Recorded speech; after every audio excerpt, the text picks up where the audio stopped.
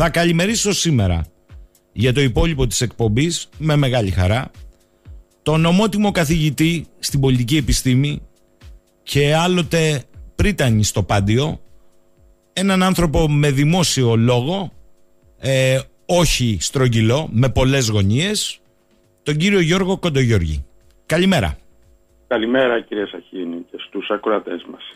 Κύριε Κοντογιώργη, πριν από οτιδήποτε άλλο, θέλω, δεν σας ακούμε συχνά πυκνά, θέλω λοιπόν να ακούσω πώς εσείς βλέπετε τις εξελίξεις με το γείτονα. Με το βάρος αν θέλετε και του χθεσινού δείπνου και τον τρόπο με τον οποίο μίλησε.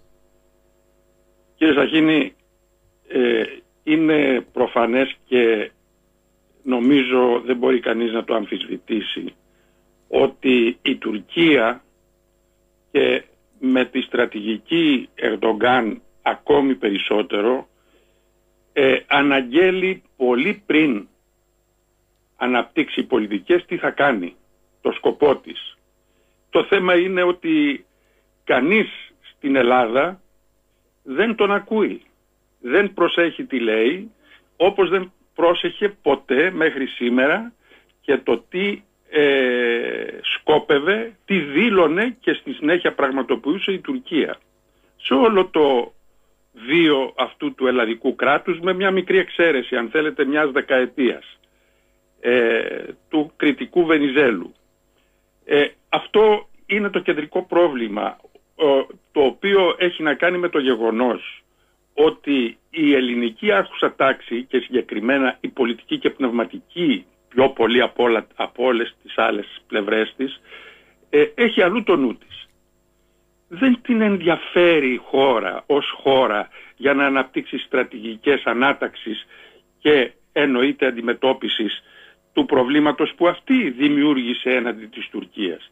Δεν πρέπει να ξεχνάμε ε, για να μπορέσουμε να κατανοήσουμε το σήμερα στην πολιτική όχι μόνο της Ελλάδας αλλά και της Τουρκίας ότι στην Αθήνα δημιουργήθηκε αυτό που ζούμε σήμερα και ζούμε, επειδή έχουμε την επέτειο των 100 χρόνων το πρόβλημα ασφάλειας της Ελλάδας ανάγεται στο 1922 κατά κύριο λόγο διότι το 1922 είναι αποτέλεσμα του 1821 του γεγονότος δηλαδή ότι φυτεύθηκε στην Ελλάδα ένα ε, κράτος, ξένο σώμα, το οποίο προοριζόταν να υπηρετήσει και ξένα συμφέροντα. Το δήλωναν, δεν είναι. Ήταν ένα κράτος προτεκτοράτο, ένα κράτος που ε, δημιούργησε μια άρχουσα τάξη και δει μια πολιτική και πνευματική τάξη η οποία μέχρι σήμερα μας διδάσκει ότι πρέπει να λατρεύουμε και να θεωρούμε γεννήτωρά μας τον βιαστή μας και όχι την ιστορική μας κληρονομιά, δηλαδή τους προγόνους μας και τον πολιτισμό μας, ένα κράτος το οποίο ως προτεκτοράτο έχει το σύνδρομο του ιτημένου. Και εάν παρακολουθήσετε την πορεία, εγώ δεν θα σας πω να πάμε στο 22 ή πιο πριν, που διαχειρός αυτού του κράτους κατέστρεψε, κατεστράφει ο μείζων ελληνισμός, αλλά να πάμε στην περίοδο της μεταπολίτευσης. Τη Μαδρίτη, αυτή η συνοχή ροή παραχωρήσεων, τι σημαίνει διάλογος με την Τουρκία; Τη Μαδρίτη, τα, που μας φέρνει στα στρατηγικά συμφέροντα της Τουρκίας στο Αιγαίο και στο μη δικαίωμά μας να κάνουμε το παραμικρό πέραν των 6 μιλίων. Ε, τα ήμια, το Κυπριακό με τα σχέδια ΑΝΑΝ, του, τις δηλώσεις περί μοναχοφάιδων, τις διερευνητικές που συζητούσαν πόσα θα παραχωρήσουν στην Τουρκία και όχι πώς θα λύσουν. Τη σημερινή ΑΟΣ που την έχουν χαράξει κατά τρόπο που φωνάζει στην Τουρκία και της λέει έλα εδώ να σου δώσω το υπόλοιπο. Ε, τι να πρωτοαναφέρω σε αυτή την πορεία των διαρκών παραχωρήσεων. Ο διάλογος τον οποίο θεωρούν ότι κάνουν είναι ο διάλογος μέχρι που θα παραχωρήσουν στην Τουρκία. Και ε, εννοείται όπως δήλωνε άλλοτε ένας πολιτικός ότι ε, αυτή η παραχώρηση θα ήταν πιο γενναιόφρονη εάν δεν φοβόταν ότι θα λιντσαριστούν από την ελληνική κοινωνία. Θυμάστε τον Υπουργό Εξωτερικών, τον κύριο Πάγκαλο και όχι μόνο να βγαίνει στα κανάλια όταν του λέγανε ότι κάτι πρέπει να γίνει στα ελληνοτουρκικά και η απάντησή του ήταν ότι τι θέλετε να μας πάρει κανένα νησί η Τουρκία; Ενώπιον δημόσια, ο Υπουργός Εξωτερικών. Προσέξτε, δεν υπάρχει αυτό το οποίο δημιουργεί το συνεκτικό δεσμό. Ο εχθρός είναι μέσα στη χώρα. Δεν υπάρχει ο συνεκτικός δεσμός με τη χώρα, με την κοινωνία και τα συμφέροντά της. Ε, σήμερα λοιπόν ο Ερντογκάν γνωρίζει πάρα πολύ καλά ότι θέλει να δημιουργήσει μία μεσαία, θα έλεγα η φιλοδοξία του πηγαίνει πολύ πιο πέρα, μεγάλη δύναμη. Δεν το κρύβουν οι άνθρωποι. Γι' αυτό και εξοπλίζονται, γι' αυτό και δημιουργούν όλες αυτές τις προϋποθέσεις. Και έχουμε μία Ελλάδα η οποία σέρνεται και παρακαλάει να γίνει συνομιλητής ο Ερντογκάν που σε, στο ποσοστό των παραχωρήσεων που θα γίνει ε, έχει γίνει καθεστώς ξέρετε το, η, υπόθεση της φινλανδοποίησης αλλά προς την ημιοποίηση της Ελλάδας. Ε, δεν ξέρω αν πήρατε είδηση ε, ότι ε, τελευταία ο ένας εκ των μεγάλων πολιτικών της εποχής ε, των μνημονίων, ο κύριος Βενιζέλος, αναγνωρίζει ότι προσέφυγε μαζί με τον Πρωθυπουργό τον κύριο Σαμαρά στον ε, Ερντογκάν για να του ζητήσουν άδεια να νομοθετήσει η Βουλή των Ελλήνων. Αυτό που είναι μια ομολογία στιγμής είναι το διαρκές. Μην ξεχνάτε ότι όταν οι στρατιωτικοί, για να πάμε και στην άλλη πλευρά, οι στρατιωτικοί δραπέτευσαν με το πραξικόπημα ε, εναντίον του Ερντογκάν στην ε, Θράκη, ε, ο τότε πρωθυπουργός διαβεβαίωνε τον ε, Ερντογκάν ότι ε, θα του, τους επιστρέψει πίσω. Δεν υπήρχε ένομη τάξη στην Ελλάδα την οποία θα έπρεπε να επικαλεστεί διότι αν τους δείτε κύριε Σαχίνη όταν βγαίνουν από τη σύσκεψη με τους Τούρκους ομολόγους τους είναι, βγαίνουν σαν βρεγμένες γάτες. Ε, δεν χρειάζεται να λέμε ονόματα. Θυμάμαι ένας που ήταν στο Υπουργείο Εξωτερικών υπηρετούσε τότε που συνάντησε τον ομόλογό του και τον ε, Ερντογκάν κάτω στην Ατάλια όταν βγήκε έξω νόμιζε κανείς ότι είχε φάει πολύ ξύλο και το ομολογούσε. Λοιπόν αυτή η πολιτική τάξη θα υπερασπιστεί τη χώρα.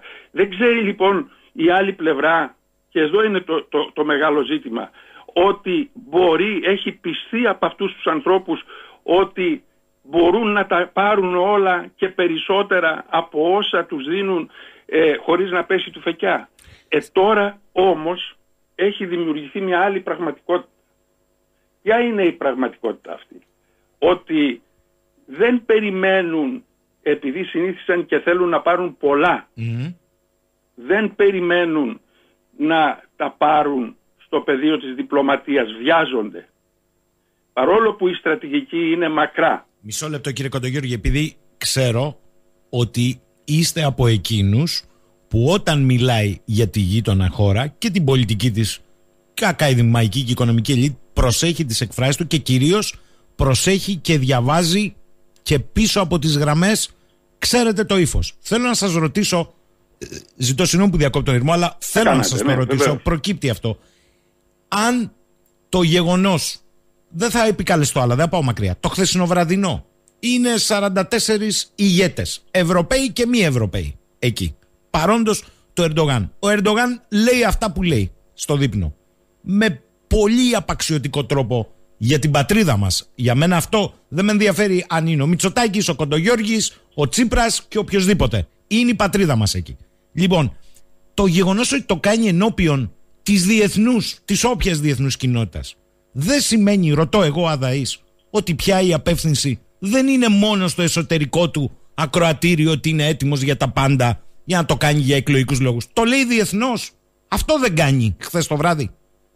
Κύριε Σαχίνη, ε, διεθνώς λένε αυτό που σκοπεύουν να κάνουν. Μάλιστα. Δεν είναι, ξέρετε, εάν μπορούσα να σας απαριθμίσω πόσες φορές έχω ακριβώς διατυπώσει αυτό το επιχείρημα ότι το ζήτημα της τουρκικής απειλής δεν είναι εσωτερικό πρόβλημα στην Τουρκία αλλά είναι υπόθεση στρατηγικής της Τουρκίας να γίνει περιφερειακή δύναμη και ότι αυτή η στρατηγική διέρχεται δια της Ελλάδος και της καθυπόταξή τους ε, θα είχαν κάτι αποκομίσει. Το 1957 έχει διατυπωθεί σε βιβλίο, το έχω επανειλημμένα πει και κανείς δεν έδειξε ενδιαφέρον για να πάει να το αναζητήσει ε, ή να μου το ζητήσει, ποια είναι η στρατηγική της Τουρκίας στο Αιγαίο; Δηλαδή να κοπεί το Αιγαίο στη μέση και να ουδετεροποιηθεί για λόγους ε, ζωτικού χώρου της Τουρκίας το μισό, δηλαδή το Ανατολικό Αιγαίο. Αυτό θα έπρεπε να είχε σημάνει συναγερμό σε μια χώρα που σέβεται τον εαυτό της.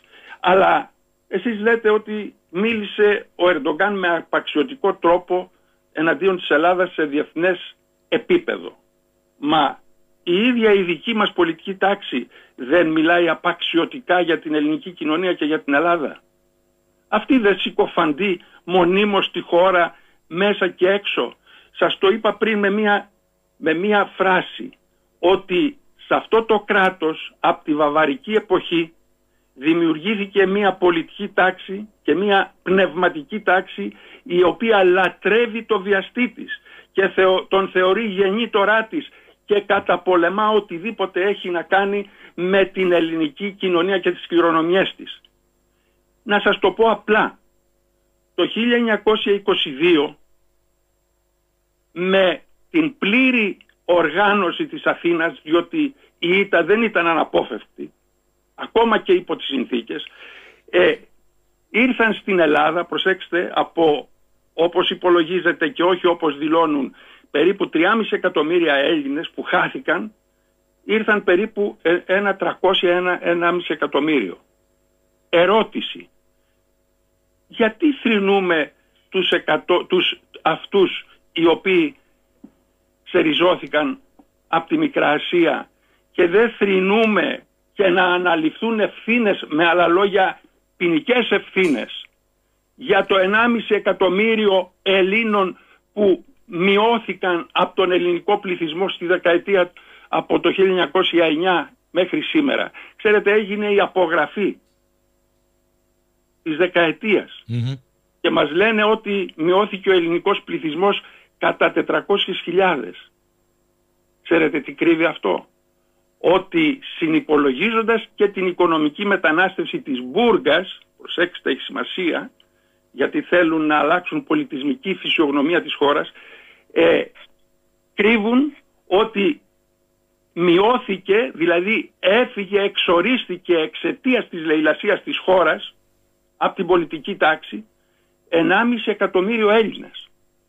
Με τι στρατό κύριε Σαχίνη θα πάει κανείς στον πόλεμο; Με ποιους; Με αυτούς που έχουν την ηλικία των 60, των 70, των 80 ετών των συνταξιούχων; Για να υπάρξει αντιμετώπιση με εθνικούς όρους της απειλής της Τουρκίας που πρέπει να σημειώσω ότι όσο περνάει ο καιρός θα γίνεται μεγαλύτερη ανεξαρτήτως του ποιος στηρίζει και ποιος όχι την υπόθεση αυτή διότι η Τουρκία σε μία δεκαετία δεν θα είναι αντιμετωπίσιμη από την Ελλάδα εάν συνεχίσουμε έτσι.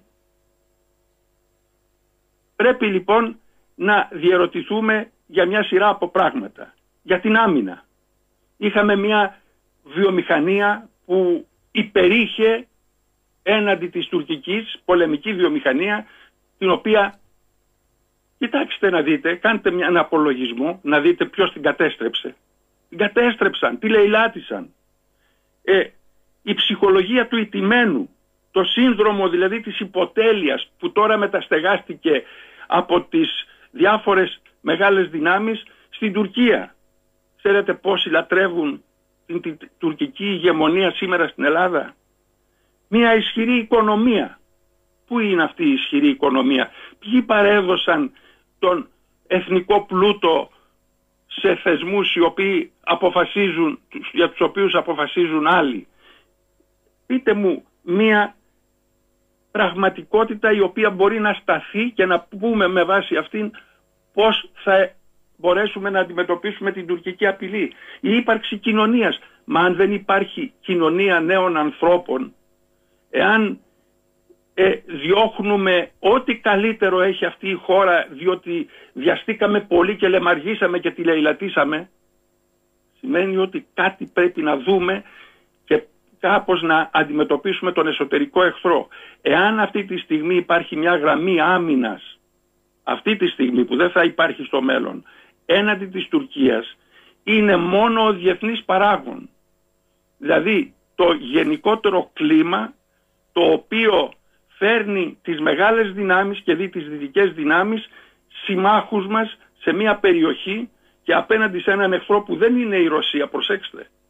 Η Τουρκία είναι ευάλωτη στη δυτική βούληση και στο οικονομικό και στο εσωτερικό της συνοχής της και σε πολλά άλλα. Ε, αυτό λοιπόν είναι το γεγονός που έχει αποτρέψει μέχρι σήμερα την Τουρκία. Άρα λέτε δεν το κάνουν γιατί ξύπνησαν και μας αγάπησαν, το κάνουν προφανώς για τους δικούς τους ευρύτερους λόγους και αυτό κουμπώνει αυτή τη στιγμή στην πίεση που υφίσταται η χώρα μας από την Τουρκία. Προλάβατε, με προλάβατε στο ουσιώδες. Ξέρετε, σε όλη την ιστορική μας διαδρομή του ελλαδικού κράτους, ε, κάθε φορά που η Αθήνα καταστρέφει ένα εθνικό ζήτημα, ε, η ευθύνη μετακυλίεται στους ξένους. Οι ξένοι όπως και εμείς έναντι των ξένων συμφερόντων γνωρίζουμε ότι θα κοιτάξουν τα δικά τους συμφέροντα. Θα έρθουν μαζί μας εάν εμείς και εκείνοι συμφωνούμε, είναι συμβατά δηλαδή τα συμφέροντά μας. Οι μεγάλες δυνάμεις σήμερα, οι δυτικές κυρίως, δεν είναι μαζί μας επειδή μας αγαπάνε.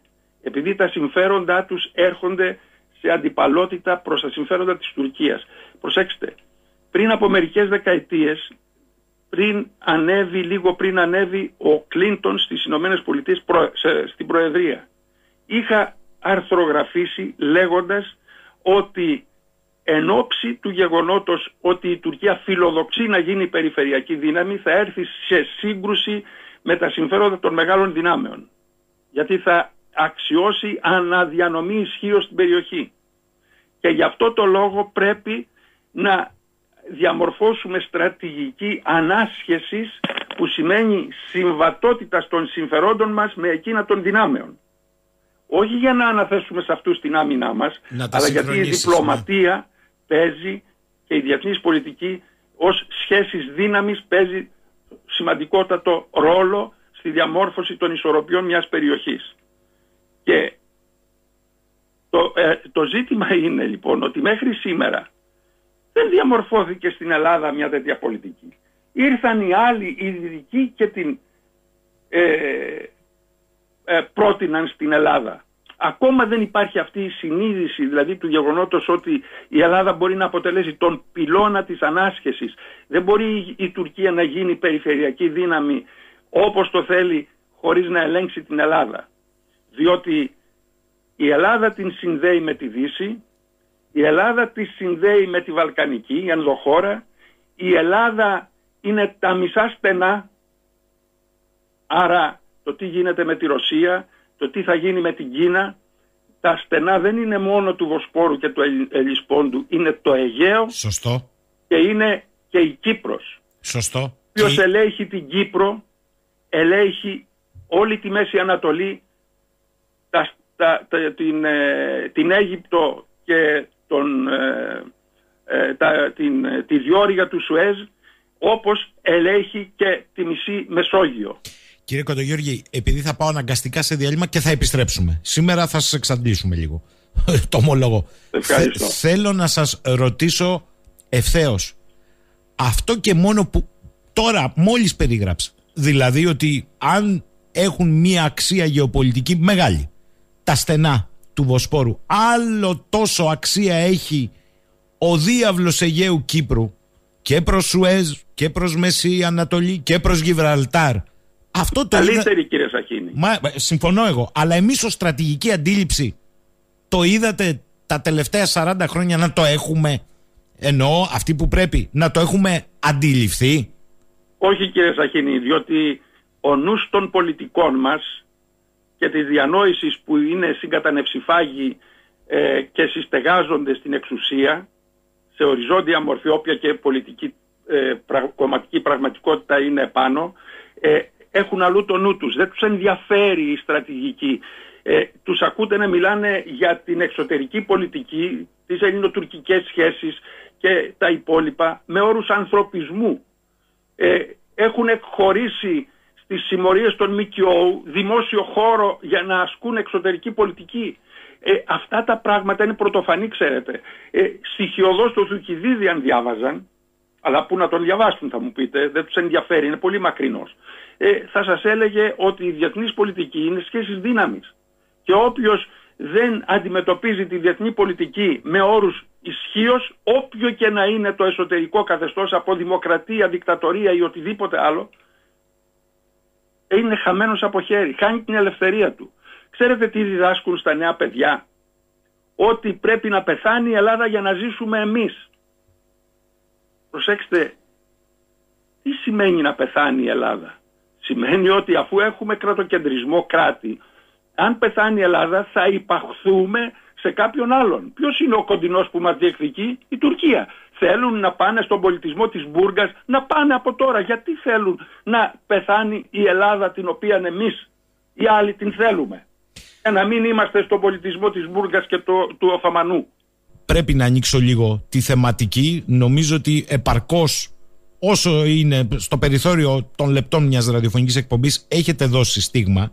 Όμως ακούστε ένας νέος επιστήμονας ο οποίος είναι και εξαιρετικά, εγώ τολμώ να πω, δηλώ στις δημόσιες εμφανίσεις και κακός. Έχει φοβερή σκέψη βάθους. Έχω παρακολουθήσει τα γραφόμενα. Το κύριος Αντώνης Γκούρλιας μου γράφει το εξής. Προς εσάς, προς τον αγαπητό καθηγητή και με όλο το σεβασμό. Κύριε yeah. Κοντογιώργη, λέει, υπάρχει και μια κοινωνία νέων που ακόμη ζει στην Ελλάδα, δεν έφυγε και παλεύει. Με κόστος μεγάλο, αδυναμίες, όμως είναι εδώ και κάποια στιγμή πρέπει να έρθει η σειρά της. Γι' αυτό τον κόσμο να μιλήσετε. Και το συμπληρώνει ένας άλλος φίλος ο Νικόλας χωρίς να έχουν συνεννοηθεί. Είπε λέει ο κύριος καθηγητής εμείς οι άλλοι που θέλουμε την Ελλάδα αναφέρεται σε άτομα, σε συντεχνίες, σε κόμματα μήπως στην κοινωνία των πολιτών, σε ποιους.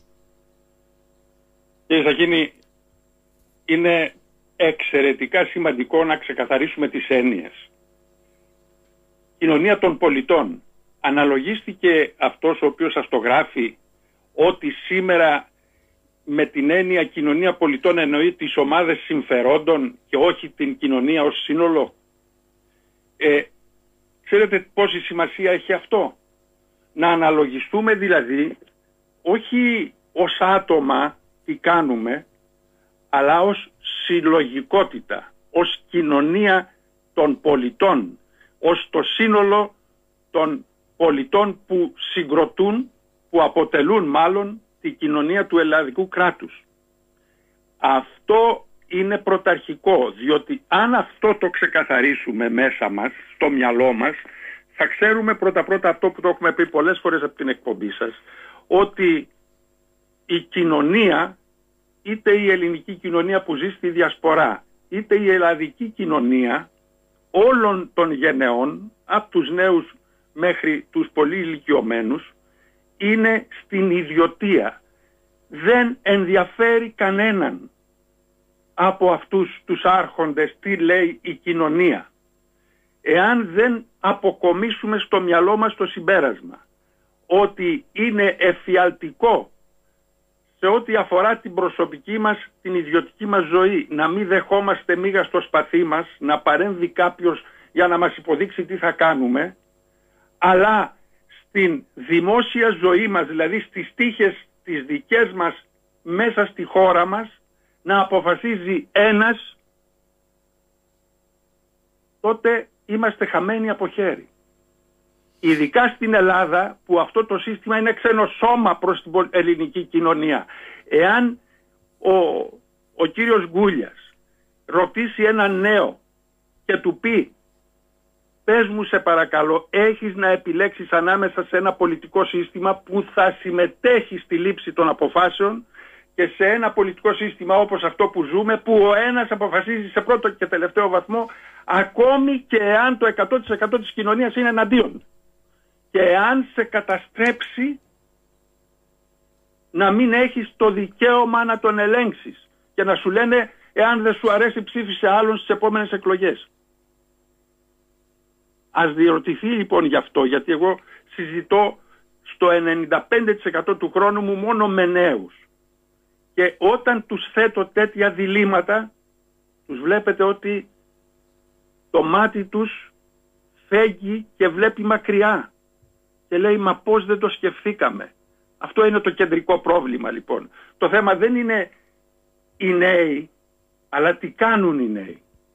Πώς δηλαδή οι νέοι θα αντιληφθούν ότι αυτό που λέει ο Περικλής ας τον προσέξουμε λίγο, σας είναι πολύ μακρινός, είναι πολύ του μέλλοντος. Δεν υπάρχει ζωή και ευτυχία, ευημερία και ελευθερία έξω από τη χώρα σου. Εάν δεν ευημερεί και αν δεν είναι ελεύθερη η χώρα σου δεν είσαι και εσύ. Αλλιώς επιλέγεις άλλη χώρα.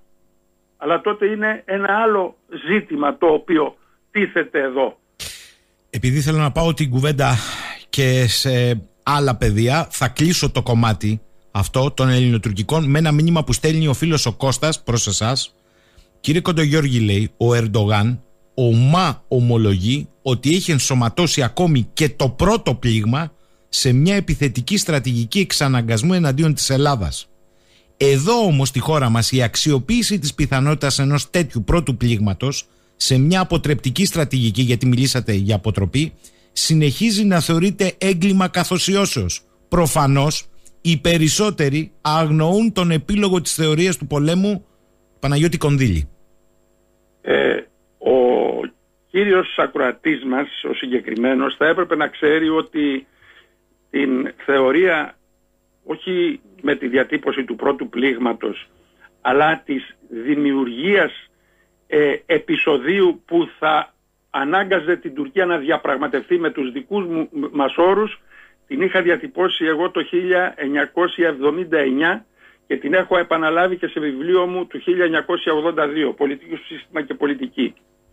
Διότι τότε διατύπωσα την θεωρία της φινλανδοποίησης την οποία πηγαίναμε αναπόφευκτα. Την ξεπεράσαμε τώρα αυτήν. Είμαστε στο στάδιο της σημειοποίησης. Επομένως, η, όταν θα μιλήσουμε για πόλεμο και ειρήνη, θα πρέπει να αναφερθούμε... Στο Θουκυδίδη, πρωτίστως. το έχετε πει αυτό. Ελάτε. Το έχω πει. Το βιβλίο μου κυκλοφορεί. Η Δημοκρατία και ο πόλεμος στο Θουκυδίδη. Όπου ακριβώς αναλύει όλο αυτό το πανόραμα της σχέσης μεταξύ εσωτερικής και διακρατικής πολιτικής. Αυτό λοιπόν είναι το κεντρικό ζήτημα, ότι είμαστε μακριά από το να το είμαστε όχι στον πληθυντικό που περιλαμβάνει την κοινωνία, αλλά αυτούς που διαμορφώνουν τις πολιτικές για τη χώρα και τις τύχες της. Είναι μακριά από πολιτικές που θα έχουν να κάνουν με συνάφεια με τη χώρα. Είμαστε η πολιτική τάξη η οποία ε, εχθρεύεται την κοινωνία και θεωρεί ότι η κοινωνία δεν την αφήνει να κάνει τις εκχωρήσεις που θέλει. Ξέρετε υπάρχει αυτή η αναντιστοιχία αυτή τη στιγμή. Στις διερευνητικές έχουν εξαντλήσει το περιεχόμενο του, των εκχωρήσεων. Απλώς η Τουρκία έχει λεμαργήσει και δεν το έχει αποδεχθεί ακόμη. Στις, εννοώ με, με το Αιγαίο την ίδια την ΑΟΣ όπως την έχουν διαμορφώσει όπως ξέρετε τη μισή Κρήτη περιλαμβάνει και δυτικά ανατολικά την έχουν αφήσει ανοιχτή μέχρι την Κύπρο για τον απλούστατο λόγο ότι είναι προς διαπραγμάτευση. Τι σημαίνει προς διαπραγμάτευση; Όταν το δηλώνεις στον άλλον ότι είναι προς διαπραγμάτευση τότε δεν θα συζητήσεις για το πόσο λίγο ενδεχομένως θα τους δώσεις αλλά πόσο περισσότερο από αυτό που του έχεις δείξει ότι είναι προς διαπραγμάτευση. Δηλαδή ε, εδώ είναι το τραγικό κατά την έννοια της ελληνικής τραγωδίας ζήτημα που δεν επιτρέπει την κάθαρση μέσα από το σύνδρομο της εξυπηρέτησης του εθνικισμού των άλλων για να μας αφήσει ήσυχους ο ελληνικός λεγόμενος εθνικισμός, έτσι το δηλώνουν, αλλά ε, έχουν αντιμέτωπη την ελληνική κοινωνία η οποία εκεί δεν υπόκειται, ξέρετε, σε πελατειακές εξαρτήσεις στα εθνικά θέματα και μπορεί να ορθωθεί απέναντι όπως έγινε με τη Συμφωνία των Πρεσπών και εκεί, προσέξτε, σύσσωμη η πολιτική τάξη βρίσκεται απέναντί της και τη θεωρεί όχλο, ετερόκλητο όχλο γιατί δεν είναι συντεταγμένη στην κινητοποίησή της ε, από τα κόμματα, κάτω από τα κόμματα. Αυτό λοιπόν είναι το κεντρικό πρόβλημα στην Ελλάδα, ότι ο, εσωτερικ, ο εσωτερικός εχθρός υπάρχει, αντιμάχεται την ελληνική χώρα και είναι απέναντι σύμμαχος με τους άλλους. Απλώς φοβάται γιατί ενώ δεν αισθάνεται ότι αντιπροσωπεύει συμφέροντα της ελληνικής χώρας και κοινωνίας, απ' την άλλη τη φοβάται γιατί αυτή έχει αυτό το ελάχιστο της νομιμοποιητικής ψήφου που θα τους ξαναφέρει στην εξουσία. Λοιπόν, αλλάζω το πεδίο ε, στο χρόνο που μας απομένει και βεβαίως τη σκέψη σας θα την πάτε όπου θέλετε εσείς. Ε, όμως ζούμε μία πραγματικότητα, το είχατε πει, αυτό που φαινόταν μη κανονικό είναι η νέα κανονικότητα, είχατε πει σε μία άλλη μας συνομιλία. Αν κοιτάξει κανείς μόνο τον ευρωπαϊκό χώρο ε, των μεγάλων ιδεών, των μεγάλων κατακτήσεων, των μεγάλων επιτευγμάτων, συζητάμε πόσα ρούχα θα φορέσουμε το χειμώνα ε, με το πρόβλημα στην ενέργεια μέχρι δεν ξέρω κι εγώ πού μπορεί να φτάσει κανείς να, να πω αυτό που λέει ο πρόεδρος Biden από χθες το βράδυ. Ότι ο πυρηνικός όλεθρος και αποκάλυψη μπορεί να συμβεί γιατί αυτά που λέει ο Πούτιν τα εννοεί. Τόσο καιρό λέγαν όλοι μπλόφα τώρα τα εννοεί. Και μάλλον θα τον δώσει στην Ινδονησία στους G20. Είναι μετά τις Αμερικανικές εκλογές. Θέλω να πω δηλαδή ότι είναι ένας κόσμος τρικυμία στο κρανίο. Είναι ή είναι ένα άλλο σχέδιο εδώ; Όχι κύριε Σαχίνη, είναι ο διακρατικός, ο κρατοκεντρικός κόσμος, δηλαδή η συγκρότηση του κόσμου σε κράτη, το ένα συνορεύον με το άλλο, που οι εξωτερικές τους σχέσεις διέπεται, διέπονται από σχέσεις δύναμης, διότι δεν υπάρχει εκεί μια πολιτεία, ένα πολιτιακό σύστημα το οποίο θα βάζει τους κανόνες και θα απαγορεύει τον πόλεμο. Από αυτή την εκπομπή τη δική σας είχα εξηγήσει ότι αυτό που συμβαίνει αυτή τη στιγμή στην Ουκρανία είναι η προσπάθεια της Ρωσίας να αποκτήσει θάλασσα είναι δεδομένο ότι σε αυτή τουλάχιστον τη φάση του επικοινωνιακού συστήματος στον κόσμο, στον πλανήτη δεν μπορεί να είναι μια μεγάλη δύναμη παρούσα στο, στα, στα πράγματα εάν, στα διεθνή πράγματα εάν δεν έχει πρόσβαση στη θάλασσα. Εάν ε, χάσει και το ζωτικό χώρο πέραν του ανθρωπισμού, δεν μιλάμε, μιλάμε για τους όρους που προκαλούν τον πόλεμο αυτή τη στιγμη ε, εάν χάσει τον ζωτικό χώρο που λέγεται Ουκρανία ή Ρωσία, δεν θα μπορεί να επιβιώσει ως μεγάλη δύναμη ε, όπως φιλοδοξεί. Έχασε το ζωτικό χώρο του πρώην υπαρκτού σοσιαλισμού, τον απορρόφησε η Ευρωπαϊκή Ένωση, δηλαδή ουσιαστικά η Γερμανία ε, και η Δύση και αυτή τη στιγμή αγωνίζεται να κρατήσει τη Λευκορωσία και την Ουκρανία. Ιδίως την Ουκρανία, διότι η Ουκρανία της δίνει πρόσβαση στη θάλασσα. Αυτό είναι το κεντρικό ζήτημα. Απ' την άλλη η, το μέλλον της σύγκρουσης στο πλανητικό επίπεδο, δηλαδή των υπερδυνάμεων που διαμορφώνουν τη γεωγραφία της γης, την πολιτική γεωγραφία της γης, ε, είναι η Δύση με την Κίνα. Στο πλαίσιο αυτό η Ρωσία είναι ο ενδιάμεσος χώρος, δεν είναι ανταγωνιστικός προς τη Δύση ή προς την Κίνα, διότι δεν μετέχει σε αυτό που κινεί την εξέλιξη, δηλαδή στη διεθνή των αγορών. Ε, η Κίνα, η, η Ρωσία είναι το, το στίχημα μεταξύ, το λάφυρο μεταξύ Κίνας και Δύσεως. Όποιος την ελέγξει θα είναι αυτός που θα ηγεμονεύσει στις επόμενες δεκαετίες. Αυτό λοιπόν το ξέρουν και οι δύο. Η, το, το ζήτημα είναι ότι η Ρωσία θέλει πιο πολύ να είναι με τη Δύση θεωρεί τα συμφέροντά της εδώ και όχι με την Κίνα. Διότι έχει και πρόβλημα με τη Σιβηρία έναντι της Κίνας και πολλά άλλα. Αλλά σε αυτό το πλαίσιο όμως ε, η Δύση δεν αρκείται σε μια εταιρική σχέση με την Κίνα, με την Ρωσία συγγνώμη, αλλά την θέλει να είναι ένα τυπικό βενζινάδικο. Δηλαδή πρώτες ύλες, να αρμέγει τις πρώτες ύλες. Ε, λοιπόν αυτό το διακύβευμα είναι που τη φέρνει τη Ρωσία και τη, και τη Δύση σε αντιπαλότητα και ρίχνει τη Ρωσία στην αγκαλιά της Κίνας. Ελάτε στη Δύση τώρα σας παρακαλώ πολύ, στον ευρωπαϊκό χώρο σας, ε, σας ε, άφησα μία εχμή. Ο χώρος των ιδεών, των επιτευγμάτων, της φθηνής ενέργειας προσβάσιμη σε όλους για να υπάρξει πρόοδο. Αυτά λέγανε 150-200 χρόνια. Φτάσαμε σήμερα να συζητάμε πόσα μάλινα θα φορέσουμε το χειμώνα. Και δεν είναι υπερβολή, είναι πραγματικότητα. Σήμερα βλέπω φιγουράρι σε κεντρική εφημερίδα ε, των Αθηνών ότι δεν συμβαίνει στην Ελλάδα, συμβαίνει στη Μαδρίτη, δίπλα στην πιο καλοφημισμένη ε, γειτονιά της Μαδρίτης υπάρχει μια άλλη γειτονιά που οι άνθρωποι πεθαίνουν χωρίς ρεύμα. Λοιπόν, πού πάει το πράγμα; Είχατε πει ότι είναι τα διέξοδα των εκλεγμένων μοναρχιών. Δική σας έκφραση είναι. Δεν διεκδικώ καμία πατρότητα, δεν λέω κάτι καινούριο. Αυτά είναι τα διέξοδα.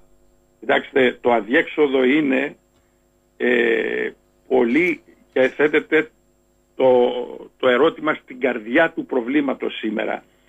Το αδιέξοδο βρίσκεται στο γεγονός ότι ε, αυτό που αποτελεί μέλλον, που διέρχεται και από την τεχνολογία και από πολλά άλλα πράγματα, το έχουν ελέγξει κατά τρόπο μόνο σήμαντο αυτό που αποκαλώ διεθνής των αγορών. Δηλαδή μια νέα σε εισαγωγικά αστική τάξη η οποία ε, δεν είναι και παραγωγική, δηλαδή είναι διαμετακομιστικού εμπορίου ελέγχου, δηλαδή της διακίνησης των αγαθών και του κεφαλαίου μέσω του τραπεζικού και χρηματοπιστωτικού γενικότερα συστήματος ε, η οποία δεν ψάχνει να βρει, να ελέγξει με, κυρίως μέσω της εργασίας και να αντλήσει υπεραξία στην κοινωνία αλλά μέσα από το σύστημα δανεισμού, τη διακίνηση, τον έλεγχο των αγορών κλπ. Αυτό λοιπόν ε, στοιχειοθετεί μία αναντιστοιχία. Η μεν οικονομική ιδιοκτησία έχει μεταβεί στο μέλλον και ηγεμονεύει και διαμορφώνει αυτή τους όρους του πολέμου, της ειρήνης, της αναδιανομής του οικονομικού προϊόντος, της ευημερίας και της ελευθερίας των κοινωνιών και από την άλλη μεριά οι κοινωνίες οι οποίες ζουν και ονειρεύονται με τους όρους του 18ου αιώνα, του διαφωτισμού μας λένε. Δηλαδή των ιδεών οι οποίες στοχάζονταν για το πώς θα φύγει ο κόσμος της Ευρώπης από την απολυταρχία και τη φεουδαρχία και θα γίνει πρωτόλια ελεύθερος, ατομική ελευθερία και εκλόγιμη μοναρχία. Δηλαδή πώς δεν θα είναι ιδιοκτήτης του κράτους ο Λουδοβίκος και θα είναι ο Μακρόν. Αλλά ποια είναι η σημερινή θεωρία αυτού του πράγματος; Ότι το πολιτικό σύστημα είναι ταυτολογικά ισοδύναμο με το κράτος. Άρα είναι φύση αναπόφευκτο οι κοινωνίες να κυβερνιόνται όντας την ιδιωτία από κάποιους έξυπνους και μορφωμένους που κατέχουν την ατζέντα γιατί αυτοί ξέρουν και οι κοινωνίες δεν γνωρίζουν.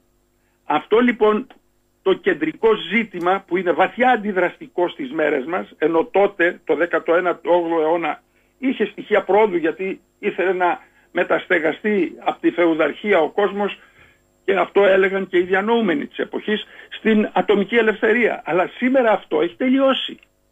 Διότι δεν παράγει ισορροπίες μέσα στο κράτος. Ξέρετε κύριε Σαχίνη ποια είναι η αντιπαλότητα σήμερα για να μιλάμε ξεκάθαρα και όχι με τους όρους της ιδεολογικής απάτης που μας σερβίρουν για να μας ενοχοποιήσουν κιόλας. Ότι η σύγκρουση δεν είναι μεταξύ αυτών που, είναι, που αντιπροσωπεύουν τις δυνάμεις της εργασίας και αυτών που αντιπροσωπεύουν τις δυνάμεις του κεφαλαίου. Δεν είναι αριστερά και δεξιά. Είναι μεταξύ του νέου και του παλαιού φιλελευθερισμού. Του φιλελευθερισμού που ήθελε την πολιτική κυριαρχία του κράτους για να αναπτύξει την αστική τάξη εσωτερικά και τις δυνάμεις, να αξιοποιήσει τις δυνάμεις της εργασίας της εθνικής κοινωνίας και το νέο φιλελευθερισμό ο οποίος θέλει κατάργηση της πολιτισμικής συνοχής με βάση τα τρία δόγματα ελεύθερη κίνηση των κεφαλαίων, ελεύθερη κινητικότητα των αγαθών και υπηρεσιών και της εργασίας. Με άλλα λόγια, άλλοτε ο μαρξισμός και ο σοσιαλισμός έλεγε παράγεται και υπάρχει κοινωνικό πρόβλημα στο Πακιστάν. Θα πάμε εκεί, θα βάλουμε τα αμπέχονά μας και θα πολεμήσουμε πράι στους συντρόφους μας. Σήμερα τι λένε, να αδειάσει το Πακιστάν από τους ταραχοποιούς για να δουλεύει καλά εκεί η διεθνής των αγορών, αδιατάρακτα, και να έρθουν αυτοί εδώ να διαρριχθεί η, εθνική πολιτισμική συνοχή που μπορεί να, μας, να προτάξει αντιστάσεις στους κάθε φορείς των, της διεθνούς των αγορών για να αλλάξει το πολιτικό σύστημα και κυρίως να μεταβάλει την εργασία του πολίτη σε εργασία εμπόρευμα. Μισό να πουλιέται όσο, όσο και όσο με βάση τους νόμους προσφοράς και τη ζήτηση. Μισό λεπτό πάνω σε αυτό που λέτε γιατί έχετε πιάσει τον τάβρο από τα κέρατα. Δηλαδή το θεμελιώδη ζήτημα της εργασίας. Έχετε δίκιο. Προσέξτε, θα σας δώσω μία είδηση, γιατί θέλω να προεκτείνετε τη σκέψη σας. Ξέρω ότι ε, επιχειρείτε να ανοίξετε δρόμους σκέψης σε πολλούς. Λοιπόν, ακούστε. Δεν ξέρω αν το έχετε υπόψη σας, αλλά από προχθές το βράδυ στην Ιταλία γίνεται το έλα να δεις από πολίτες, δεν έχει σχέση με τις εκλογές αυτό, κατά μια συγκεκριμένης πολυεθνικής ταχυμεταφορών. Έχουν βγει σε όλες τις πόλεις, με επίκεντρο βέβαια τη Φλωρεντία. Τι συνέβη, ένας οδηγός μικρού κυβισμού μηχανής ταχυμεταφορών συγκρούστηκε με ένα αυτοκίνητο ενώ πήγαινε την παραγγελία και σκοτώθηκε. Ντελιβεράς, να το πω έτσι. Μία ώρα μετά το θάνατό του ήρθε ένα μήνυμα αλγορίθμου στο κινητό του που έλεγε αργήσατε να παραδώσετε το προϊόν, απολύεστε Έγινε το έλα να δεις, η εταιρεία είπε ήταν ένα αυτοπατοποιημένο μήνυμα ε, κατά λάθος και ζητάμε συγγνώμη. Ωστόσο, οι Ιταλοί δεν δέχονται τη συγγνώμη. Είναι η Glovo η εταιρεία. Η απόλυση λένε μέσω αυτοματοποιημένων μηνυμάτων αναδεικνύει περίτρανα το απο... συγγνώμη, αποπροσωποποιημένο σύστημα εργασίας χωρίς ίχνος ανθρώπινης παρέμβασης οι εργαζόμενοι πια αντιμετωπίζονται σαν εργαλεία δουλειάς, μόλις σταματούν να δουλεύουν, απορρίπτονται αυτομάτως από το σύστημα, άσχετα αν είναι ζωντανοί ή νεκροί. Κύριε Σαχίνη, χαίρομαι που μου το λέτε, διότι αυτό ακριβώς το ζήτημα και το γενικότερο ζήτημα της μεταμόρφωσης και της απόρριψης της εργασίας με τα λόγου γνώσεως το είχα θέσει το 1975 συγκρατήστε, σε γραπτό μου που δημοσιεύθηκε στα γαλλικά την εποχή και το έχω επαναλάβει επανειλημμένα. Ε, το ζήτημα δεν είναι απολογιστικά να διαπιστώνουμε κάτι όταν οι άλλοι έχουν κατακτήσει το μέλλον και εμείς είμαστε ακόμα στο 18ο αιώνα. Το ζήτημα είναι να το έχουμε προβλέψει. Σήμερα δεν υπάρχει επιστήμη. Υπάρχει ιδεολογία που, που ενδύεται το, το πλαίσιο της λεγόμενης επιστήμης. Ε, επομένως η ιδεολογία αυτή διδάσκει τον κόσμο ότι πρέπει να κάθεται στο σπίτι του, να σκέφτεται πώς θα περάσει το χειμώνα, πώς θα βρει μια εργασία που θα είναι μαύρη, αλλά όχι όμως να παρέμβει και να αλλάξει τον κόσμο η ίδια, πώς να μεταβεί δηλαδή σε επίπεδο αξιών, ενιών κατανόησης των φαινομένων δηλαδή στο μέλλον. Και ξέρεις πόσο καλά δουλεύουν αυτοί οι ιδεολογικοί μηχανισμοί που διακινεί η, η λεγόμενη πνευματική τάξη; Διεθνής και εσωτερική δική μας. Πάρα πολύ καλά. Για να καταλάβετε, ακροδεξιά σήμερα θεωρείται ο παλαιός φιλελευθερισμός και ότι αυτός αντιπροσώπευε. Δεν θεωρείται ο ναζισμός. Αυτή που θεωρείται τώρα η κυρία ακροδεξιά στην Ιταλία σέβεται απολύτως το πολιτικό και οικονομικό σύστημα που ζούμε. Απλώς έχει πολιτικές ρητορικής, δεν νομίζω ότι θα πάει παραπέρα, αλλά εν πάση περιπτώσει ρητορικής που ανάγεται στον παλαιό φιλελευθερισμό. Είναι ακροδεξιά αν σε εκλέγει η Ιταλική κοινωνία να υπηρετεί στα συμφέροντα της Ιταλικής κοινωνίας και όχι της διεθνούς των αγορών.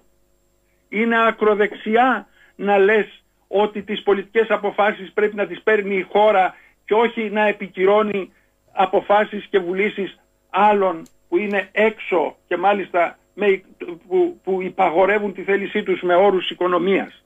Ε, καταλάβατε, είναι ακροδεξιά να θέλει κανείς να βάλει, να προστατεύσει την εργασία για να μην λειτουργεί δίκη εμπορεύματος. Αντί να έχει νομοθετήσει λοιπόν η Ιταλία για αυτά τα φαινόμενα που επικαλείστε, έρχεται η κοινωνία να αντιδράσει και ξέρετε τι θα πούν όλοι. Ότι είναι ακροδεξιά διότι δεν είναι συμβατή με τον κύριο Σόρος. Ξέρετε η αριστερά σήμερα στην Ελλάδα που αρθρογραφεί και τι ιδέες διακινεί και από ποιον χρηματοδοτείται. Συμβολικά το λέω από το Σόρος.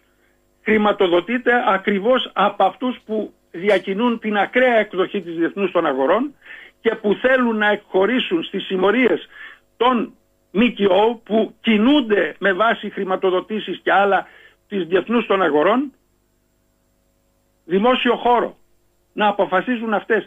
Αν δεν το είχα ζήσει στο Συμβούλιο της Ευρώπης ως προσπαθούσαν να βρουν ιδέες για να εγγράψουν τις ΜΚΟ σε, στο, στο πρόσημο της δημοκρατίας δεν θα μπορούσα να το πιστέψω ούτε εγώ ο ίδιος. Αλλά αυτή είναι η πραγματικότητα σήμερα. Και οι δύο αυτές εκδοχές τόσο του παλαιού φιλελευθερισμού διότι είναι αναχρονιστικός όσο και του νέου φιλελευθερισμού διότι είναι ηγεμονικός και απάνθρωπος διότι και οι δύο αρνούνται μια θέση της κοινωνίας και τη βούληση της κοινωνίας πάνω στα πολιτικά πράγματα ε, είναι ηγεμονικό. Αυτό λοιπόν σημαίνει τι; Ότι εάν θέλουν οι κοινωνίες να, να μην πάνε στον κεάδα της απαξίας, της ανέχειας και των καταστάσεων που δημιουργούν οι κύριοι αυτοί που τα ξέρουν όλα, περίπτωση του πολέμου στην Ουκρανία και πώς αντιμετωπίζεται από τις διάφορες πλευρές, εάν θέλουν να μην συμβαίνει αυτό λοιπόν, ένας τρόπος υπάρχει. Να αναλάβουν θέση στην πολιτική διαδικασία, στη λήψη των αποφάσεων. Με άλλα λόγια, να φύγουμε από την εκλόγιμη μοναρχία του 18ου αιώνα που διακίνησε ο 18ος αιώνας και να μεταβούμε στο μέλλον. Το μέλλον είναι η κοινωνία στην πολιτική, άρα το αντιπροσωπευτικό πολιτικό σύστημα και στο βάθος η δημοκρατία. Άμα ξεκαθαρίσουμε τις αντιλήψεις μας, προσέξτε, δημοκρατία, αντιπροσώπευση και μοναρχία εκλόγιμη μας λένε ότι είναι το ίδιο πράγμα. Επειδή πάμε και ρίχνουμε το κουτάκι και εκλέγουμε, στο, στο, και εκλέγουμε υποτίθεται το μονάρχη μας για την επόμενη τετραετία. Εάν δεν ξεκαθαρίσουμε ότι είναι τελείως διαφορετικά και αντίθετα πράγματα να κυβερνάει η κοινωνία, δημοκρατία, να μοιράζεται η κοινωνία με την πολιτική εξουσία τις αρμοδιότητες ή να κυβερνάει ο ένας ο Πρωθυπουργός και Μονάρχης αν δεν τα ξεκαθαρίσουμε αυτά δεν έχουμε μέλλον. Γιατί, διότι τι μας λένε σήμερα αν πούμε ότι το πολιτικό σύστημα δεν δουλεύει και δεν παράγει δημόσιες πολιτικές; Θα σκεφτούν ότι είμαστε με τη δικτατορία, διότι δεν υπάρχει εναλλακτική πρόταση. Σου λέει είσαι στη δημοκρατία. Και ακούτε λοιπόν ένα συνταγματολόγο που θέλει να ηγηθεί της χώρας ως περέφωνο του Ερντογκάν, τον κύριο Βενιζέλο να σας λέει ότι η δημοκρατία είναι τα κόμματα. Δηλαδή αυτός. Αυτή είναι η τραγωδία λοιπόν της εποχής μας και όχι μόνο της Ελλάδας. Ότι έχουν στενέψει τα όρια του εγκεφάλου μας, τη σκέψη μας σε τέτοιο βαθμό που δεν μπορούμε να σκεφτούμε έξω από την πραγματικότητα που ζούμε. Είναι οι παροπίδες που βάζουν στα άλογα για να πηγαίνουν μόνο στον δρόμο που θέλουν τα αφεντικά τους. Στην Ελλάδα υπάρχει ακόμα κάτι χειρότερο ότι έχει απαγορευτεί στον Έλληνα να σκέφτεται. Αν του πείτε κάτι καινούριο όπως αυτό που συζητάμε τώρα θα σας πούν εφαρμόζεται πουθενά αλλού. Αυτή είναι η τραγωδία. Αλλά να ξέρουν λοιπόν οι πολίτες ότι είναι απλώς υπήκοοι του κράτους και ότι δεν εκλέγουν. Κατά διατησίαν επιλέγουν το μονάρχη τους ο οποίος τους βγαίνει υποψήφιος μέσα από μηχανισμούς έξω και από τις ίδιες τις πρόνοιες του συντάγματος. Θέλω, ε, εδώ έχω δύο ερωτήματα που νομίζω ότι ανατροφοδοτούν τη συζήτηση. Το πρώτο είναι από τη φίλη μας τη Μαρία, λέει «Καλημέρα κύριε Κοντογιώργη, θα ήταν ένα βήμα για κοινωνίες ανθρώπων που θέλουν να δράσουν συλλογικά όπως είπατε, να αιτούνται από το πολιτικό σύστημα λογοδοσία με συγκεκριμένους όρους και ανακλητότητα. Ε, η κυρία ε, Μαρία ε, ας διαβάσει λίγο πώς έχω αναλύσει την έννοια της εκλόγιμης μοναρχίας και της αντιπροσώπευσης ή της δημοκρατίας. Αν μπει στο blog μου θα το βρει οπουδήποτε. Το έχω επαναλάβει πολλές φορές.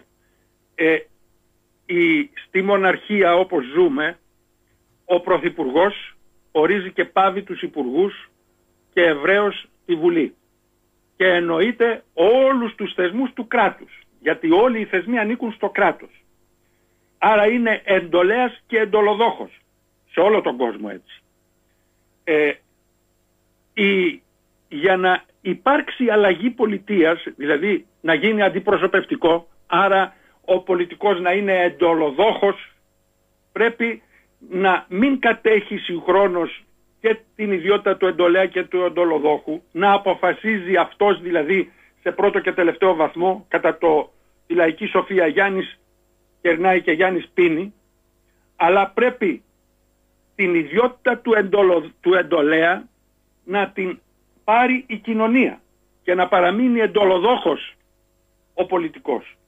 Τι σημαίνει εντολέας η κοινωνία; Η κοινωνία σήμερα θεωρείται ότι είναι ένα άθροισμα ατόμων, ιδιωτών. Δεν παράγει βούληση γιατί για να παράγει βούληση πρέπει να συγκεντρωθεί κάπου, πρέπει δηλαδή να γίνει θεσμός και να μπορεί να αποφασίζει. Υπάρχουν μυριώσει τρόποι. Θα γεννηθεί το ερώτημα πώς. Ο δημοσκοπικός δήμος θα πω εγώ. Η τεχνολογία. Εκεί είναι το έδαφος του μέλλοντος της πολιτικής συλλογικότητας, της πολιτικής θέσμησης της κοινωνίας. Αλλά ας δούμε την αρχή. Πρέπει λοιπόν η κοινωνία να γίνει εντολέας. Με την ψήφο που δίνει σήμερα δεν είναι εντολέας. Είναι εκλέγει μονάρχη και τελειώνει εκεί ο ρόλος της. Και δεν έχει δικαίωμα να τον ελέγξει, να τον ανακαλέσει. Ε, η κυρία Μαρία λοιπόν θα έπρεπε να γνωρίζει ότι ο Σόλωνας που καθιέρωσε, για σκεφτείτε πόσο πίσω μας πήγανε, ο Σόλωνας που καθιέρωσε την αντιπροσωπευτική πολιτεία αντί της μοναρχίας που τον έφερε στην εξουσία, τι έκανε, δημιούργησε τον Δήμο, δηλαδή θέσμισε την κοινωνία για να μπορεί να σκέφτεται και να παίρνει αποφάσεις όπως ο καθένας μας. Ένα. Τι αρμοδιότητες της έδωσε; Να εκλέγει τους εντολοδόχους, να τους ανακαλεί όποια ώρα θέλει και ας λέει ότι σε εκλέγω για τέσσερα χρόνια, σε ανακαλώ στον ένα αν δεν μ' αρέσεις, να τους ανακαλεί, να τους ελέγχει σε καθημερινή βάση, να τους ζητάει ευθύνες, το ευθύνη, άρα να τους προσάγει στη δικαιοσύνη αν παραβούν τη βούληση της κοινωνίας και τους νόμους και βεβαίως να καθορίζει αυτή το περιεχόμενο της πολιτικής που θα ακολουθήσουν. Τι σημαίνει αυτό; Ότι εάν δεν έχει όλα αυτά τα στοιχεία ως αρμοδιότητα η κοινωνία και όχι μόνο τη λογοδοσία αλλά ε, και την εκλογή αλλά το σύνολο και την ανάκληση. Το σύνολο αυτών των αρμοδιοτήτων σε καθημερινή βάση, τονίζω, άρα στην διαδικασία λήψεως των αποφάσεων από τη Βουλή και τον, και τον Πρωθυπουργό δεν είναι αντιπροσωπευτικό το πολιτικό σύστημα. Άρα τις διαφεύγει και κάνει ό,τι θέλει ο εντολέας και εντολοδόχος Πρωθυπουργός και μετά απλώς περιορίζεται στη διαμαρτυρία κατεβαίνει στους δρόμους. Ε, τελείωσε η εποχή των διαδηλώσεων, δεν παράγει πολιτικό αποτέλεσμα.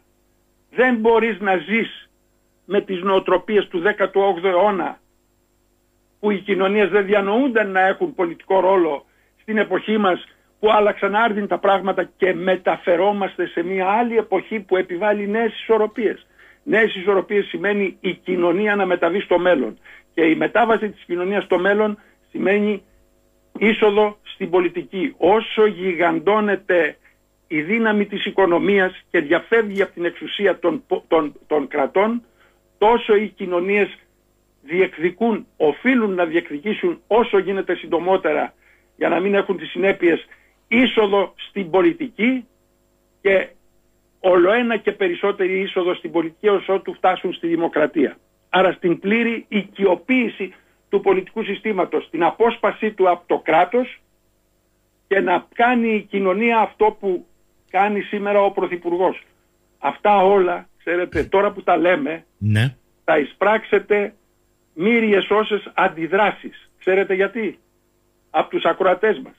Διότι έχουν βαθιά ενσταλλαγμένη στο μυαλό τους την αντιδραστική εκδοχή της πολιτείας του διαφωτισμού. Τρομάζουν με την ιδέα ότι οι ίδιοι θα ενταχθούν στην κοινωνία ως συλλογικότητα και θα αποφασίζουν αυτοί. Λοιπόν, Ότι είναι δημόσιος κίνδυνος για τον εαυτό της η κοινωνία. ακούστε τώρα. Θα κλείσω με, εσείς θα κλείσετε, με ένα εχμηρό ερώτημα προς εσάς. Παρακαλώ. Που είναι από το φίλο τον Νικόλα. Λέει, ωραία όλα αυτά που λέει ο κύριος καθηγητής. Ποιος θα μπορούσε να διαφωνήσει; Το ερώτημα όμως το κρίσιμο θα ήθελα να δω αν το αποφεύγει το απαντά. Ποιος είναι αυτός που θα οργανώσει τις ατομικότητες σε συλλογικότητα και θα τους δώσει την εξουσία και θα τους κάνει εντολής, κάποιος εξωθεσμικός, ένας πεφωτισμένος άριστος ηγέτης, ένας διανοούμενος out of the box που λένε και στα ελληνικά, οι ατομικότητες θα ξυπνήσουν ένα πρωί και θα πούνε ότι πρέπει να γίνουμε συλλογικότητα; Για να έχει θεσμικό ρόλο και δύναμη μια συλλογικότητα θα πρέπει να συγκροτηθεί από την εκάστοτε εξουσία ή να διεκδικήσει με αγώνες, όχι παραταξιακές και συνδικαλιστικές διαδηλώσεις τύπου συντάγματος, το ρόλο αυτό. Εν τέλει, μήπως ο κύριος Κοντογιώργης προσπαθεί να αποφύγει το εύλογο και αναπόδραστο συμπέρασμα ερώτημα πως αν θέλουμε να επαναφέρουμε το λαό στην εξουσία να είναι ο εντολέας αυτό δεν μπορεί να γίνει ειρηνικά και ομαλά κάτι που η ιστορία μας υπενθυμίζει και έχει καταγράψει πολλάκις. Ε, στο φίλο μας απαντώ ότι οι μεγάλες αλλαγές, οι κοσμοϊστορικές αλλαγές έγιναν κατά κανόνα ειρηνικά. Διότι είχε οριμάσει ο χρόνος της εξέλιξης αυτής. Ξέρετε υπάρχει αυτό που αποκαλώ το δίκαιο της ανάγκης. Το δίκαιο της ανάγκης είναι αυτό που κινεί τα μυαλά των ανθρώπων να σκεφτούν διαφορετικά. Ποιο είναι το δίκαιο της ανάγκης εδώ; Η καταβαράθρωση της ευημερίας και της ελευθερίας τους. Όταν θα φτάσει στο σημείο του μη παρέκει, και δεν μιλάμε τώρα για την Ελλάδα που το ξεπέρασε σε πολλές περιπτώσεις στην ιστορία της στην ελλαδική, αλλά σε αυτούς που διαμορφώνουν το γεωπολιτικό χάρτη του κόσμου, κυρίως της Δύσεως. Όταν λοιπόν εκεί φτάσουν στο σημείο μηδέν της ανοχής, κάνω διαρκείς παρεμβάσεις αλλά έχει σημασία, στο παρελθόν πριν τη δεκαετία του 80 η συνοχή και ο συναγερμός για το συμβιβασμό στο εσωτερικό των κρατών ήταν το επίπεδο ικανοποίησης της κοινωνίας. Σήμερα είναι το έσκατο βάθρο της ανοχής της για να μην εξεγερθεί. Δώστε της για να μην εξεγερθεί. Τώρα είναι η εποχή των επιδομάτων για να μην εξεγερθεί η κοινωνία. Ε, αντιληφθείτε λοιπόν ότι όταν φτάσει κανείς στο σημείο της ανάγκης θα αρχίσει να σκέφτεται μα αφού κατεβαίνω στους δρόμους και δεν γίνεται κάτι, κάτι άλλο πρέπει να κάνω. Ε, λοιπόν εκεί πρέπει να μπει στη λογική της μεταβολής πολιτείας. Διότι εκεί αποφασίζονται όλα στην πολιτική. Εκεί θεσμοθετείται το καθεστώς του οποιοδήποτε θα αναπτύξει οποιαδήποτε δραστηριότητα μέσα σε μια χώρα ή στο παγκόσμιο επίπεδο. Άρα λοιπόν η πρώτη απάντηση είναι ότι αυτό θα έρθει μέσα από την εξέλιξη του δικαίου της ανάγκης. Η ερώτηση είναι εάν θα γίνει βία ή όχι. Η απάντηση είναι ότι εν μέρη θα γίνει βία, κυρίως όμως θα γίνει με την μεταβολή της λογικής των ανθρώπων. Δηλαδή, εάν μια κρίσιμη μάζα από την κοινωνία στραφεί απέναντι στους πολιτικούς που τις ζητάνε την ψήφο και πούν δεν σε θέλουμε ρε βουλευτή να έρχεσαι εδώ να μου ζητάς την ψήφο και να κάνεις ρουσφέτια θέλω να σε εγκαταστήσω μέσα σε ένα σώμα που θα είναι με τυχαίο δείγμα σε μία πλατεία ή σε κάθε τρίμηνο ή εξάμηνο και θα σου δίνω εντολές και θα σε ελέγχω τι έκανες αντί να είσαι, μην πω τη λέξη, του ηγέτη, τότε θα δείτε ότι τα πράγματα θα αλλάξουν. Θα αλλάξουν από μόνα τους διότι η κρίσιμη αυτή μάζα θα κάνει τον πολιτικό να σκεφτεί δύο φορές διότι του χρειάζεται η νομοποίηση και σήμερα δεν περνάει πια στις πιο εξελιγμένες κοινωνίες το αυταρχικό καθεστώς να πει είσαι έτσι και εγώ να θα σου κάνω ένα αυταρχικό καθεστώς τύπου Κίνας ή οποιοδήποτε άλλου. Αυτό λοιπόν είναι το δεύτερο σκέλος. Να γίνει μέσα μας μια επανάσταση στο πεδίο των ιδεών. Να μην μας λένε ότι ζούμε στην εποχή της δημοκρατίας ενώ ζούμε στην εποχή της εκλόγιμης μοναρχίας. Να ανοίξει ο οριζοντάς μας. Να ξέρουμε δηλαδή ότι για να παραγάγουμε αποτέλεσμα πρέπει να μπούμε στην πολιτική και όχι να διαδηλώνουμε να χτυπάμε την πόρτα της πολιτικής. Τότε θα βγουν και οι κατάλληλοι ηγέτες και στο πνευματικό και στο πολιτικό επίπεδο και σε πολλά άλλα για να διαμορφώσουν το πρόταγμα. Σήμερα όσο και αν τους λέμε αυτά που τους λέμε στο ραδιόφωνο με τον κύριο Σαχίνη να είστε βέβαιοι ότι σκέφτονται όλοι ή σχεδόν όλοι πώς και ποιον θα ψηφίσουν στις επόμενες εκλογές. και τι θα εισπράξουν ενδεχομένως κάποιοι άλλοι από την σχέση τους με τους πολιτικούς. Πόσοι είναι εκείνοι που σκέφτονται ότι βάζουν απέναντι αυτό το πολιτικό σύστημα και άρα αυτούς τους πολιτικούς που καλεί το πολιτικό σύστημα που πρέπει να είναι όμοιοι τους για να το υποστηρίζουν και επομένως στεκόμενοι απέναντί τους να αξιώσουν μια άλλη λύση πολιτική που θα είναι μέρη αυτή της συλλογικότητας. Ελάχιστη, για να μην πω κανένας. Αυτό είναι το κεντρικό πρόβλημα λοιπόν που απαντάει. Δεν είναι να βγω εγώ ή οποιοδήποτε άλλος από το πρόβλημα. Είναι ότι οι ίδιοι πρέπει να γίνουν πρωτοπόροι και στη σκέψη και στη βούληση και στη δράση προς την κατεύθυνση όχι της εναλλαγής στην εξουσία αλλά της αλλαγής του πολιτιακού παραδείγματος. Θέλω ε, κλείνοντας, αφού σας ευχαριστήσω για το σημερινό χρόνο και ευχαριστήσω και τους δεκάδες ακροατές αλλά θα θέλαμε άλλες δύο ώρες Θέλω να σας θέσω έτσι ένα ερώτημα προβληματισμό με βάση και την εισαγωγική σας τοποθέτηση. Είπατε ότι σήμερα ένα τμήμα αυτού που λέμε προωθημένη οικονομική διεθνής των αγορών, ελίτ και τα λοιπά, έχει ξεφύγει στο ρυθμό της και στον τόνο σε σχέση με τις κοινωνίες των πολλών οι οποίες όπως λέτε για την ώρα αυτό το, το μεταξύ τους χάσμα αυξάνει και πάνε να απαντήσουν με όρους προηγούμενων αιώνων. Φοβάστε ότι ή εκτιμάτε ότι αν συνεχιστεί αυτός ο ρυθμός θα έχουμε πλήρη αποκοπή και θα πάμε σε κοινωνίες όπου αυτή η προωθημένη ελίτ έχοντας τα πάντα στα χέρια της θα περνάει καλά στη φούσκα της και οι απ' έξω όσοι επιβιώσουν μπορεί να φτάσουμε σε τέτοιες εικόνες δυστοπίας. Κοιτάξτε, είμαστε εκεί απλώς, απλώς στην Δύση που ηγείται αυτού του φαινομένου, τα πράγματα δεν έχουν φτάσει ακόμη σε αυτό το αδιέξοδο. Αλλά μόνο αυτό που θα συμβεί το χειμώνα και η ψυχολογική ε, προετοιμασία που μας κάνουν, όπως επίσης και οι φωνές που ακούγονται, να σκεφτούν τις κοινωνίες για να μην εξεγερθούν, το ακούσαμε από το Διεθνές Νομισματικό Ταμείο, το ακούμε από τους διάφορους οικονομικούς, μεγάλους οικονομικούς παράγοντες που έχουν συσσωρεύσει το μισό πλούτο της υφηλίου και παραπάνω, ε, οι ίδιοι αντιλαμβάνονται ότι κάτι δεν πάει καλά και κινδυνεύουν από πιθανές αντιδράσεις των κοινωνιών. Το διοράμα είναι ότι οι κοινωνίες δεν διεκδικούν ένα άλλο σύστημα που θα υποτάξουν αυτή τη διεθνή των αγορών στους κανόνες της, αλλά διεκδικούν αλλαγή εξουσίας. Δηλαδή μέσα στο ίδιο πολιτικό σύστημα. Ε, θα αλλάξει ο α ηγεμόνας και θα έρθει ένας άλλος σε αυτό το πλαίσιο. Δεν υπάρχει περίπτωση να γίνει κάτι διαφορετικό. Αυτό λοιπόν είναι το αδιέξοδο σήμερα. Το αδιέξοδο είναι στα μυαλά των κοινωνιών.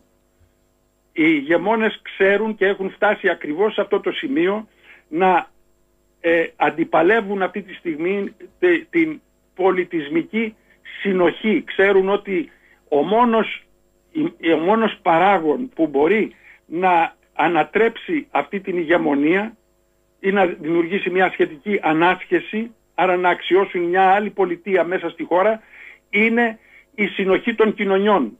Εάν διαρρήξουν αυτή τη συνοχή με την κινητικότητα της εργασίας και πολλά άλλα και μάλιστα την ανάμιξη διαφορετικών πολιτισμικών, δηλαδή γίνονται στο όνομα του, των θρησκειών αλλά έχουν βαθιά εσωτερική πολιτισμική ρίζα, έτσι, τότε θα σκοτώνονται οι κοινωνίες μεταξύ τους στο εσωτερικό ποιος θα ηγεμονεύσει και αυτοί θα κάνουν τη δουλειά τους εκεί που είναι.